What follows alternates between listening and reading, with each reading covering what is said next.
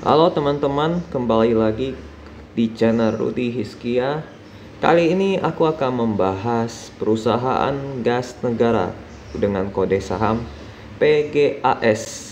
Kalau dibaca Pegas. Nah, ini aku penasaran tentang perusahaan Pegas ini ya atau perusahaan gas negara. Jadi, kita langsung saja lihat overview dari websitenya ya. Oh, ini bicara harga, dividen. Tapi kalau kita lihat dividen setiap tahun selalu dibagikan ya oleh Pegas ini. Jadi buat teman-teman yang ingin mendapatkan dividen dari saham ya Pegas salah satunya. Mereka rajin membagikan dividen setiap tahun ya. Tanpa bolong ya. Ya, dari tahun 2005 sampai 2019. 2020 ada ada ya ada ya ada ada. Ada juga nih tanggal 2 jadi ex dividennya 2020 jadi pasti ada juga ya.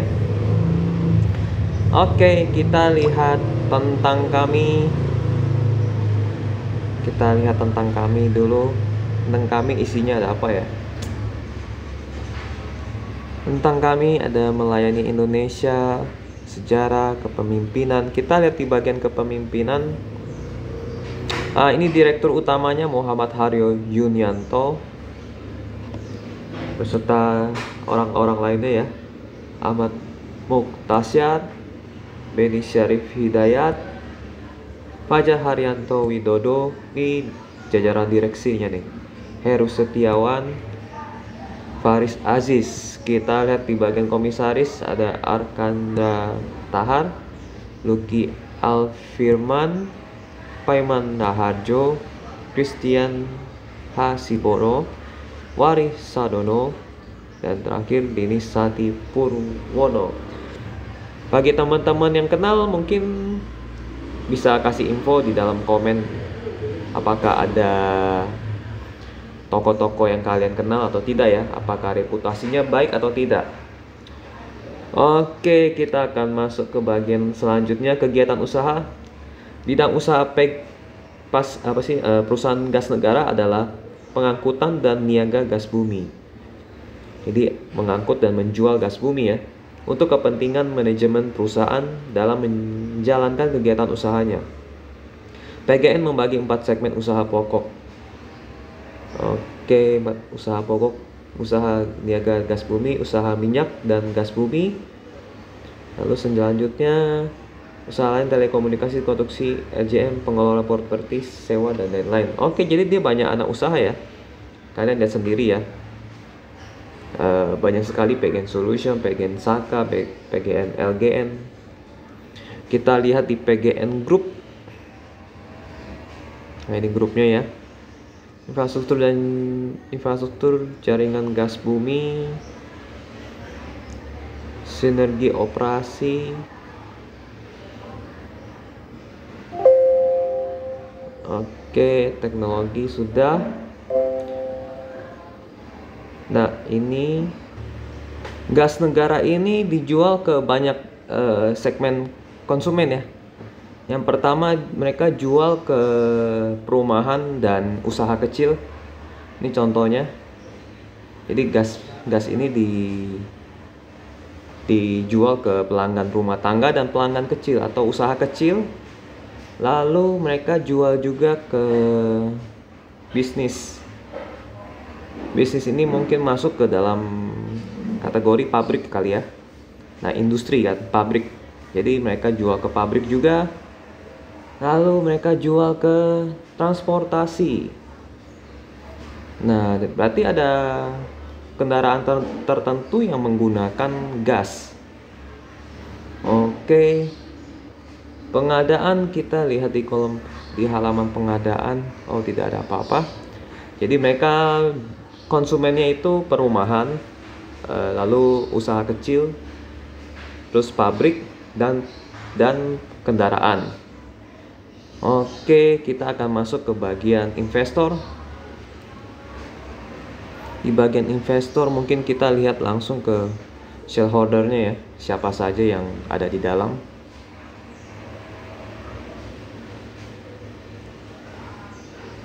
Nah, ini ada yang terbaru ya.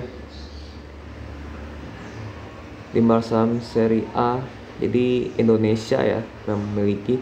Jadi di pabrik itu memiliki 43% sementara eh, Pertamina memilikinya 56% jadi pengendalinya pengendali dari PGN ini adalah Pertamina. Sisanya pabrik ya satu lembar saham seri A Duyu Warna jadi ada satu lembar saham dari Indonesia ya pemerintah ya oke lalu Tunggu, tunggu, tunggu. Ini maksudnya... Oh ya benar.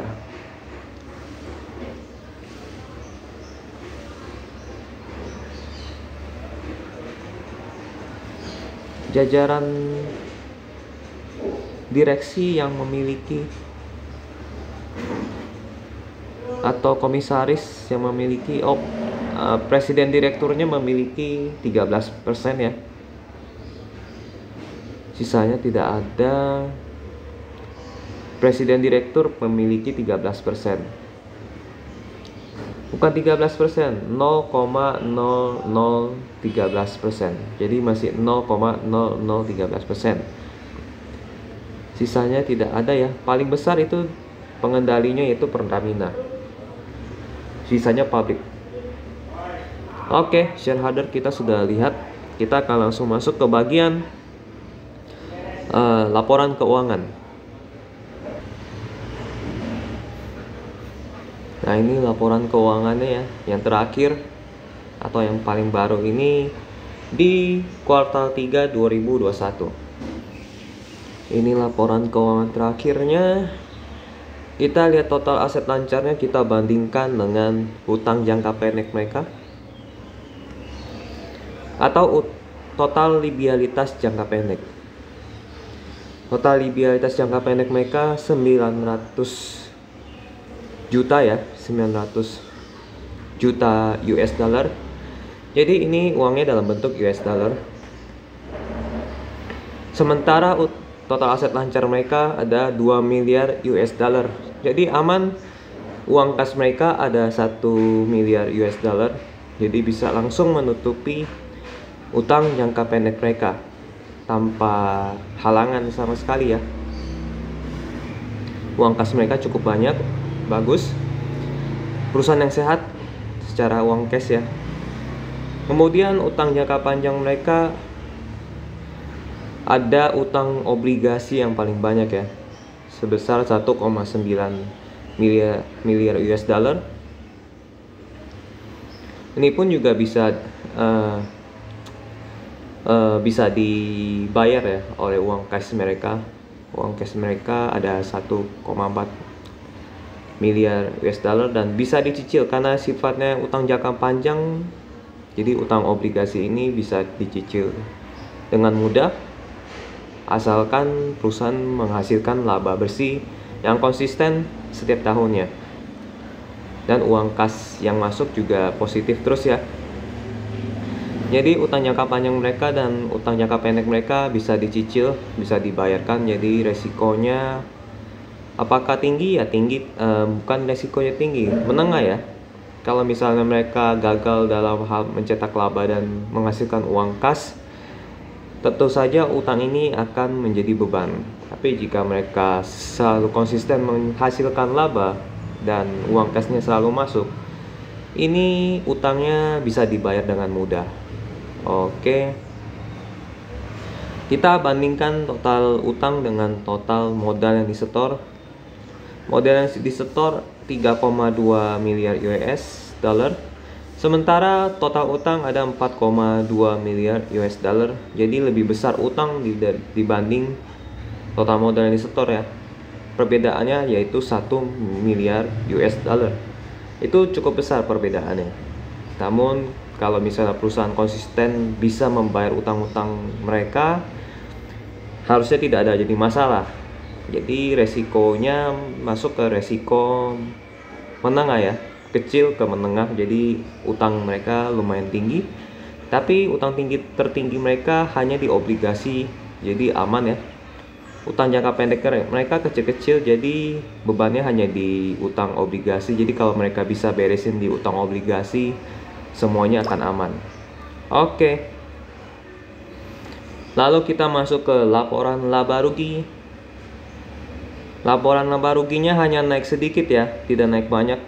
Naiknya hanya 5% sekitar 5%. Lalu eh, margin laba kotornya sekitar 30%, oke. Okay.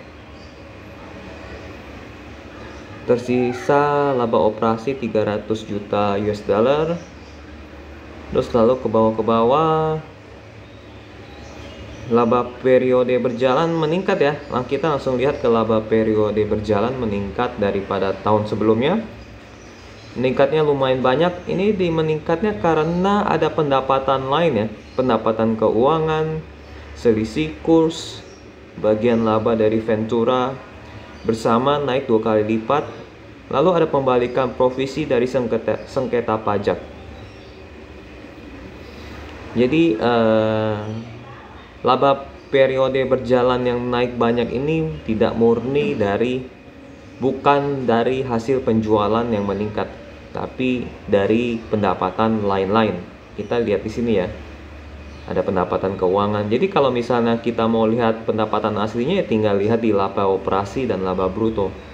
Laba bruto sama eh, laba operasinya kenaikannya hanya sedikit ya dari tahun sebelumnya kalian lihat sendiri ya, perbedaannya sangat tipis sekali naiknya, hanya sekitar 20 sampai 10 juta US dollar.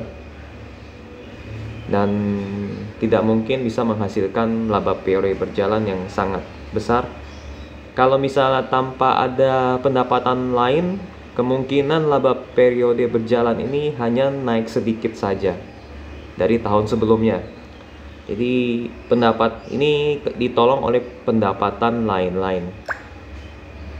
Oke, kita langsung masuk ke bagian uh, arus kas.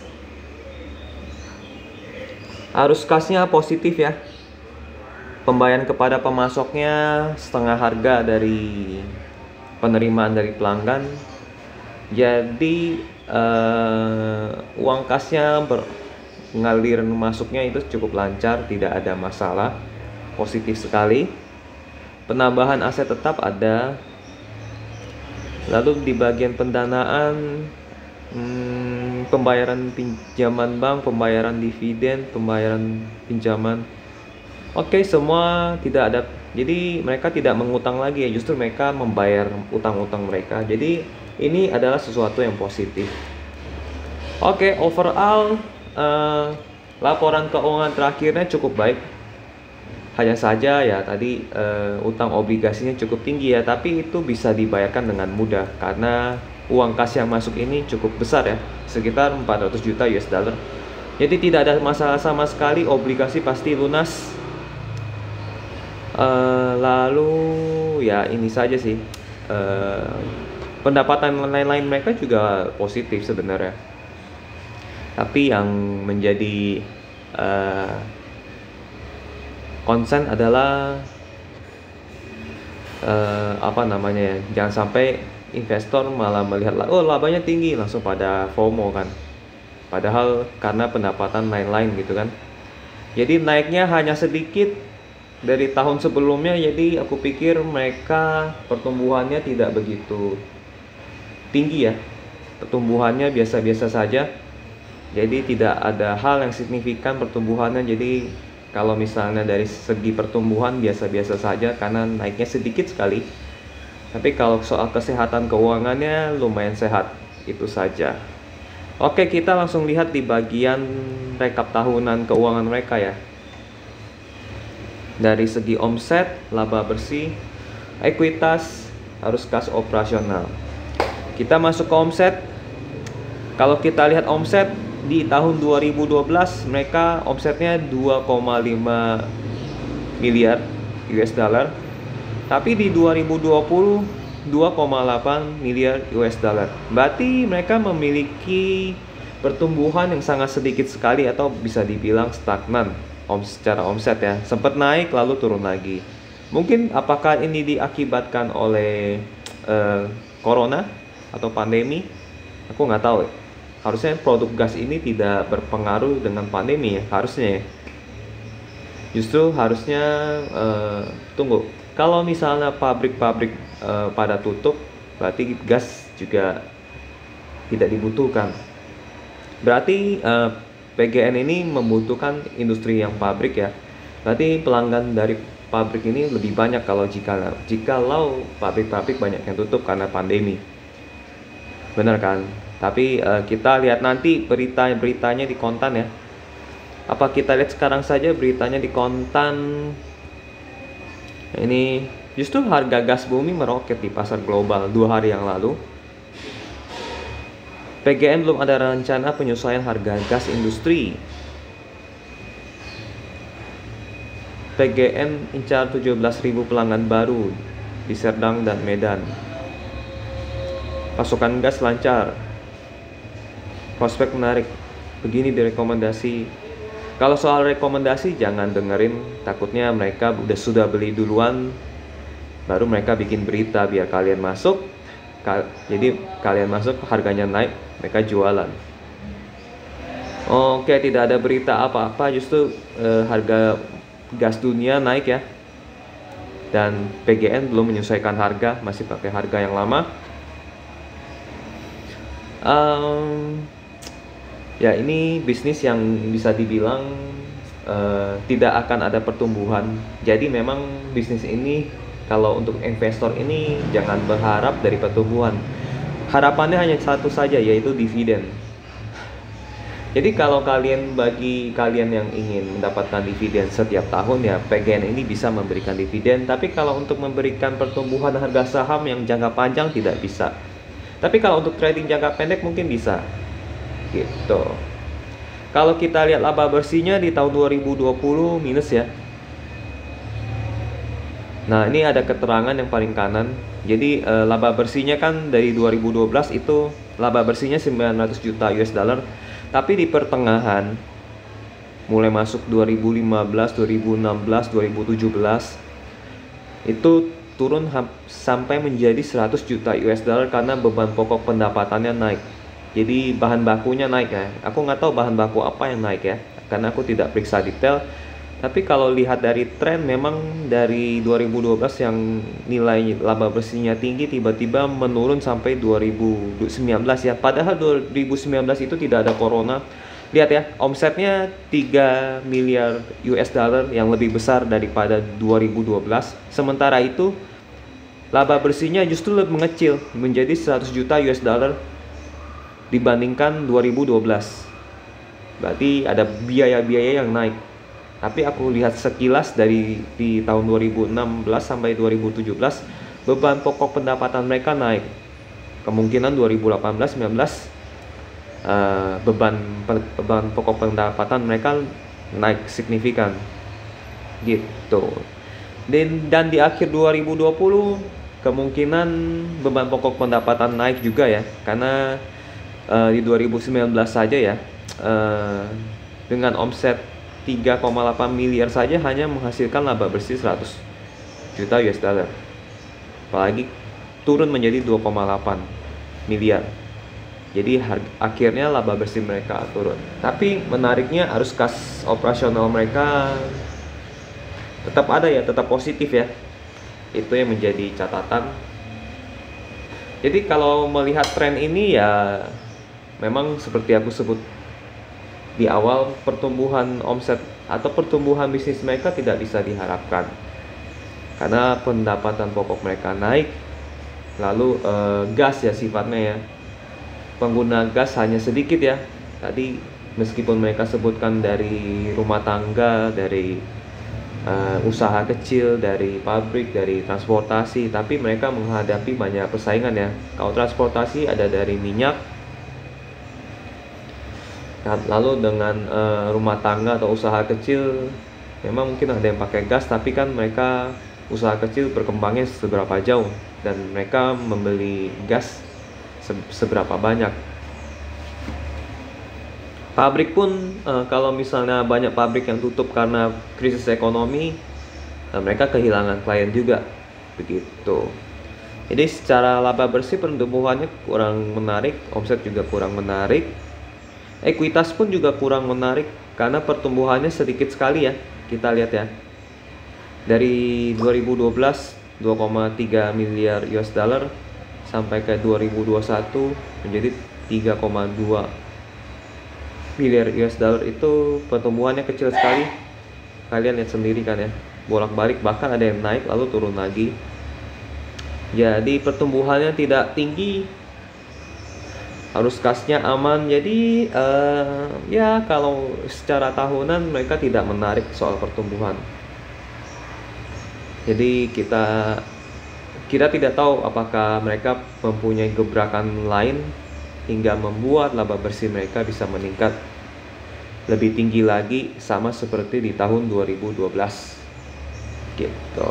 Oke kita lihat di presentasi mereka ya apakah mereka ada rencana lain Pabrik Expos mereka adakan di 17 November beberapa bulan yang lalu. Kita lihat apa yang akan mereka presentasikan ya. Ini jajaran direksinya. Oke. PGN Subholding Gas. Pertamina yang menjadi pemegang ya. 56% lalu uh, publiknya 43 persen. Hmm, niaga gas 8 persen. Pangsa pasar niaga gas hmm, jaringan pipa kehandalan jaringan. Jadi mereka meng, uh, memberikan gas itu lewat pipa ya. Industri dan komersil 2000 usaha kecil 1000 rumah tangga 500 ribu. Justru rumah tangga pemakai gas ini lumayan banyak pendapatan menurun ya. Kebijakan strategis.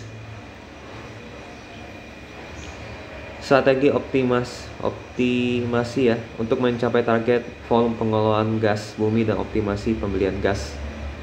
Efisiensi beban operasional. Oke, akhirnya mereka melakukan efisiensi beban operasional. Tapi kenapa beban operasional di dikecilkan. Kenapa tidak beban pokok pendapatan? Nah, itu kan. Sebenarnya kan kos paling besarnya itu beban pokok pendapatan ya. Kos e, mengoptimalkan arus kas perusahaan ya tercermin ya. Meskipun 2020 itu rugi tapi e, uang yang masuk kas yang masuk itu positif ya. Lihat kan 2020 mereka mengalami kerugian tapi arus kasnya positif. Customer acquisition Oke, perluasan layanan rumah tangga, diversifikasi bisnis. Wah, apa nih diversifikasi bisnis? Jangan-jangan yang aneh-aneh kan? Program transformasi. Ini soal keuangan mereka. Kenaikan volume niaga gas dipengaruhi oleh meningkatnya konsumsi dari pelanggan industri dan kelistrikan. Ya, jadi banyak pabrik ya yang dibangun artinya Eh, konsumsi mereka atau misalnya pabrik ekspansi akhirnya konsumsi gas jadi meningkat. Semakin banyak pabrik semakin uh, konsumsi gas semakin tinggi. Konsumsi yang paling tinggi itu 34% itu power plant atau kelistrikan. Jadi uh, tenaga jadi ada yang menggunakan gas ya listrik ya power plant 17 persennya dipakai oleh chemical atau kimia jadi industri kimia. Yang kedua yang warna hijau itu keramik. Keramik menggunakan gas. Yang ke keempat food. Jadi makanan ya makanan menggunakan gas industri makanan. Tapi paling besar itu porsinya kelistrikan kimia keramik dan makanan. Lalu uh, pipe gas jadi gas itu dilayani dengan pipa ya 99% lalu ini Pertamina Group Scone of Philips aku tidak mengerti. Mungkin teman-teman kalau bisa baca tabel ini bisa kasih penjelasan juga di kolom komentar. Oke. Transmisi gas. Jadi sebelumnya ini niaga gas ya. Kalau ini transmisi gas. Bisnis highlight. Volume transportasi gas sesuai dengan serapan dan penyaluran dari pelanggan. Sejak Februari 2021 gas dari lapangan ke Podang dialirkan melalui pipa transmisi KJG. Kendala non teknis dan gangguan produksi dari zipper serta serapan pelanggan mempengaruhi realisasi volume transformasi minyak, regasifikasi dan prosesan LPG. Oke, proses pemrosesan LPG. Nah, aku nggak mengerti nih. Kalau teman-teman yang mengerti gas, bisnis gas, kalian boleh uh, komen di kolom komentar ya. Dari grafiknya sih menurun volumenya. Transportasi minyak juga menurun, regasifikasi meningkat bukan menurun transportasi minyak meningkat regasifikasi meningkat proses LPG meningkat oke okay. lifting migas peningkatan harga minyak berdampak positif pada peningkatan volume lifting terutama dari blok Pangka, Muria, Ketapang, dan Muara Bakau. Gas sebesar 54% ya. Buat teman-teman yang mengerti gas dan minyak bumi, ini boleh bantu menjelaskan. Aku tidak mengerti sama sekali ya. Ini daftar lifting migasnya, kinerja keuangan tadi kita sudah bahas. Harus gas kita sudah lihat, proyek strategis dan investasi. Nah, ini yang akan kita uh, pengen tahu ya. Proyeknya dalam Bangko, Dumai, dan Dimas Duri Dumai Corridor Growth Oil Pipe Replacement Project. Objective to strengthen oil and gas transportation portfolio and revenue to support Rokan Block oil lifting volume. Oke, jadi mereka ingin membangun ya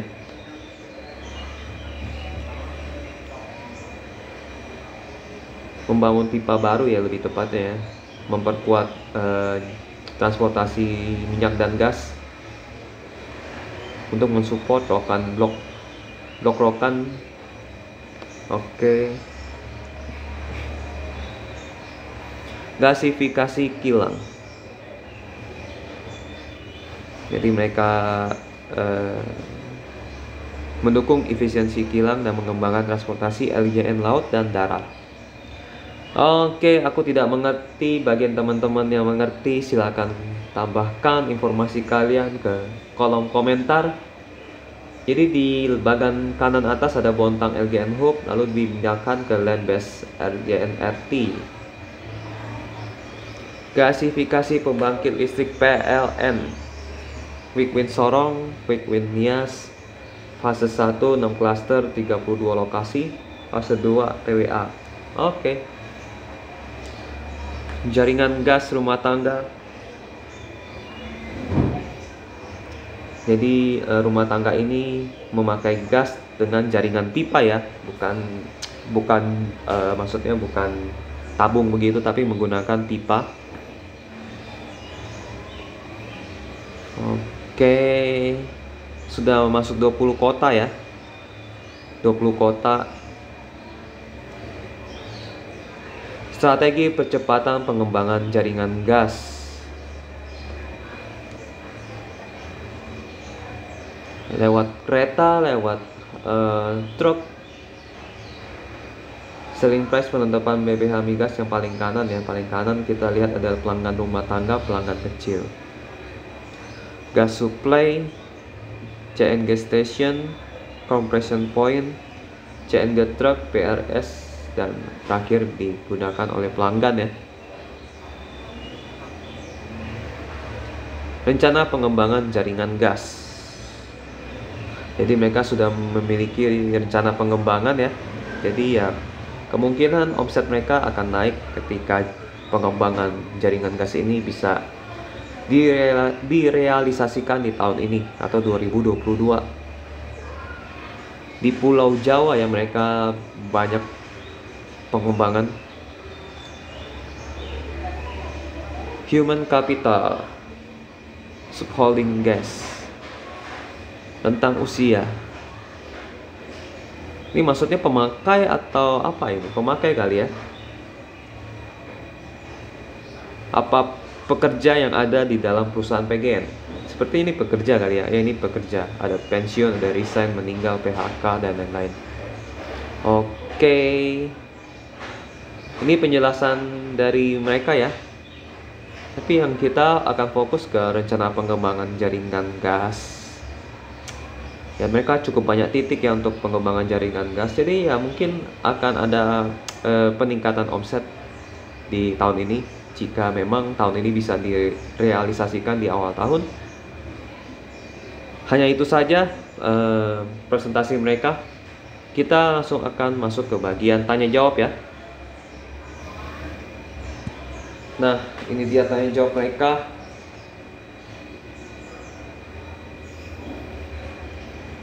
Nah, ini langsung tanya jawab. 361 peserta, oh banyak sekali ya. Coba kita lihat absennya. Ah, ini. Ini absennya lumayan, yang hadir lumayan banyak, ada 361 peserta. Kemarin videonya ada yang sampai 1700 itu di perusahaan Sido muncul ya Nah ini dua uh, ini 300 peserta. Pertanyaan pertama, bagaimana strategi jangka panjang PGN untuk mengoptimalkan gas bumi di tengah tuntutan energi bersih? Nah ini juga salah satu tantangan. Jadi dunia ini menginginkan listrik itu dari sumber energi yang bersih, bukan dari gas bumi, batu bara dan lain-lain ya. Jadi jawabannya, gas bumi adalah salah satu dari program transisi energi yang nantinya akan menuju kepada energi terbaharukan. Pemerintah mendorong di kurung waktu yang disepakati, energi terbaharukan lebih tinggi penggunanya di Indonesia. PGN sebagai salah satu subholding gas dari PT Pertamina dalam rencana strategis jangka panjang dan ke depan serta dalam rangka masa transisi energi berupaya dan berusaha meningkatkan pemanfaatan gas bumi. Beberapa upaya kami lakukan adalah pengembangan penyaluran gas kepada industri seperti contohnya pupuk, keramik, kimia, dan sebagainya, PLN serta rumah tangga. Saat ini kami sedang melakukan kajian teknis untuk dapat masuk ke dalam retail industri. PGN sebagai agregator gas di Indonesia, kami harapkan dapat memanfaatkan peluang yang ada baik di sektor pengembangan konversi gasifikasi, pembangkit PLN, smelter, transportasi laut dan darat, serta petrokimia. Hal ini sedang kami siapkan untuk tahun 2020. Kami mulai melakukan piloting serta implementasi dari pola pengembangan. Ini masih belum menjawab ya sebenarnya. E, menjawab sedikit sih, mengoptimalkan gas bumi di tengah tuntutan energi bersih. Jadi Harapan berikutnya adalah PGN sebagai salah satu subholding Pertamina yang saat ini bersinergi dengan subholding lain menjadi salah satu kekuatan pertumbuhan kami ke depan. Kami telah memasuki subholding refinery dan petrochemical atau kilang dengan potensi ke depan. Terdapat tambahan pasokan kurang lebih sebesar 350 BBTUD serta portfolio yang kami sedang siapkan. Jadi pertanyaan dan jawaban tidak nyambung ya. Kan pertanyaannya bagaimana mengoptimalkan gas bumi dengan tengah tuntutan energi bersih hanya menjawab sedikit saja tapi mereka tidak uh, menjawab soal terbarukan ya apa mungkin aku yang salah baca atau bagaimana mungkin teman-teman bisa bantu juga di kolom komentar gitu langkah konkret apa yang disiapkan PGN untuk memperkuat infrastruktur demi mengoptimas optim Malisasi pemanfaatan gas bumi. Wah, ini kan sebenarnya sudah dijawab ya dari sebelum-sebelumnya. Pasca transformasi, PGN telah mengintegrasikan infrastruktur di Sumatera bagian utara dan tengah. Oh, jadi uh, jawabannya kira-kira banyak uh, ini ya infrastruktur yang dibangun ya, para konstruksi di Balikpapan, juga menyelesaikan pembangunan pipa Gresik Semarang, memperkuat infrastruktur non pipa yang disebut beyond the pipe selain itu di titik selanjutnya untuk rumah tangga segala macam selain itu kami menambahkan infrastruktur di luar pipa yaitu dengan pembangunan penyaluran pipa. Oke selanjutnya adalah standar gas dengan yang telah disampaikan secara sekilas bahwa by standard bla bla bla bla. Oke jawabannya mereka sedang melakukan banyak project ya. Tadi kita lihat di bagian presentasinya banyak sekali titik-titik pembangunan ya untuk project-project mereka ke depannya atau di tahun ini. Pertanyaan selanjutnya jadi per, e, pertanyaan yang ini infrastrukturnya juga sedang mereka lakukan jadi tenang saja. Bagaimana proyeksi dan realisasi volume penjualan gas bumi di tahun ini dan tahun depan? Apa faktor pendorong peningkatan volume itu? Adakah dampak kenaikan harga minyak, gas, dan batu bara terhadap pegas? Nah ini pertanyaan yang bagus. Volume niaga konsolidasi per September 2021 adalah sebesar 873 BBTUD atau naik sebesar 8% dari 812 BBU BBTUD pada periode yang sama tahun sebelumnya dikarenakan kenaikan konsumsi gas dari beberapa sektor industri di antaranya chemical, keramik, basic metal, dan fabricated metal. Secara umum sepanjang tahun 2021 sejalan dengan program-program pemerintah dalam pemulihan ekonomi nasional, maka penyerapan gas oleh pelanggan industri mengalami peningkatan. Betul, karena sudah mulai pulih ya. Dan tercermin juga dalam pertumbuhan ekonomi nasional di mana kuartal 3 2021 mengalami peningkatan 3,51 persen dan pertumbuhan konsumsi listrik nasional pada kuartal 3 sebesar 4,42 persen. Jadi ada kenaikan konsumsi listrik ya, dengan kondisi tersebut juga adanya rencana penyaluran ke beberapa pelanggan bulk serta sinergi holding migas. Proyeksi volume tahun depan akan meningkat. Ini maksudnya tahun 2022 ya, akan meningkat. Di tahun ini akan meningkat. Kenaikan harga minyak, gas, dan batu bara tidak berdampak langsung bagi PGN karena 80% portfolio niaga gas PGN regulated.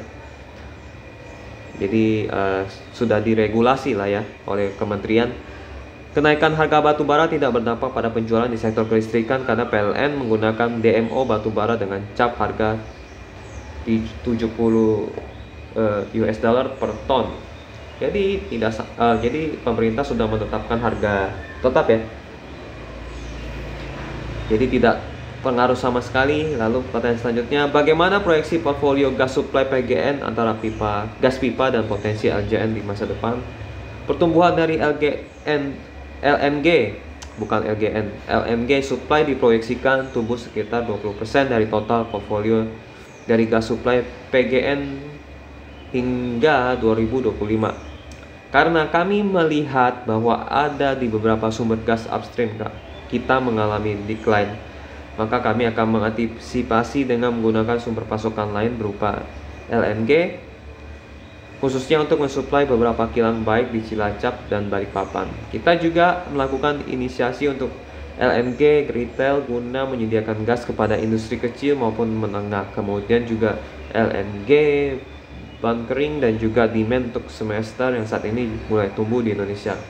Oleh karena itu, ke depan kami melihat bahwa pertumbuhan LNG akan semakin tinggi. Jadi ada pertumbuhan gas supply LNG akan tinggi ya ini yang mereka klaim.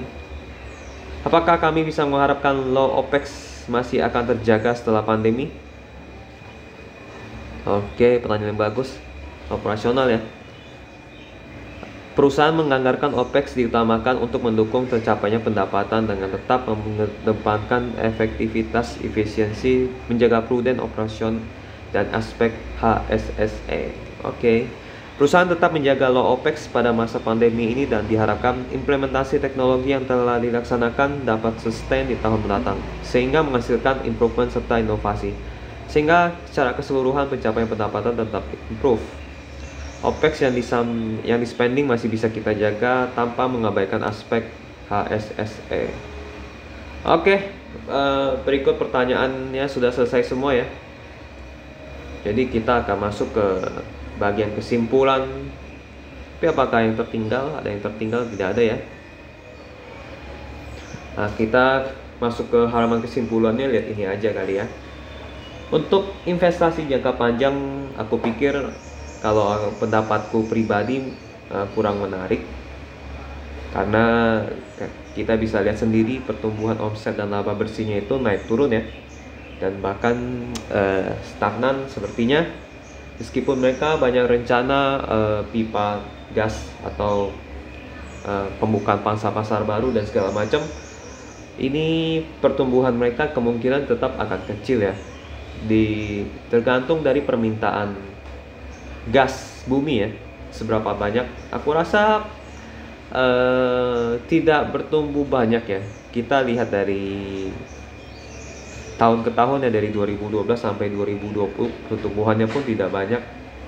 Bahkan ekuitasnya sempat stagnan dari 2019 18 19 jadi 17 18 19 kita lihat saja dari 2016 ini juga 18 19 jadi tidak ada hal yang signifikan pertumbuhannya. Jadi kalau mau mengharapkan pertumbuhan dari uh, pegas ini ya prospek ke depannya ya bertumbuh sih. Cuman hanya pertumbuhannya kecil sekali gitu.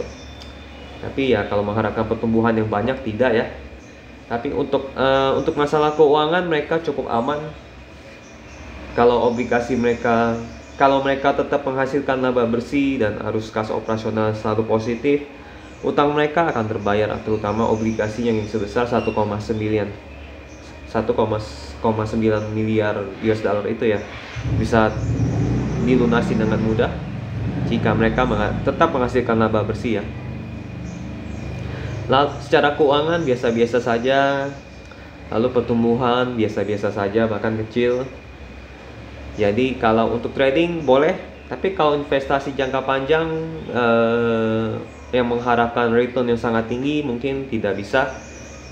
Tapi kalau untuk mengharapkan dividen ini bisa. Gitu. Jadi overall ya sahamnya biasa-biasa saja ya. Jadi tidak menarik dan tidak juga tidak buruk dan tidak menarik. Ya biasa-biasa saja. Gitu. Kalau misalnya bertanya aku apakah akan invest di sini mungkin tidak. Tapi kalau untuk trading iseng bisa boleh juga, tapi kalau untuk invest enggak. Gitu. Oke, sekian video tentang pembahasan dengan uh, perusahaan gas negara atau PGAS mungkin kalau ada kalian ada informasi tambahan atau uh, informasi yang ingin di uh, koreksi kalian boleh komen di kolom komentar. Boleh like dislike bebas. Jadi kalau ada pertanyaan tentang analisa saham lainnya pun kalian juga boleh komen di kolom kolom kolom komentar ya oke sampai jumpa di pembahasan saham lainnya di video berikutnya. Selamat tinggal bye bye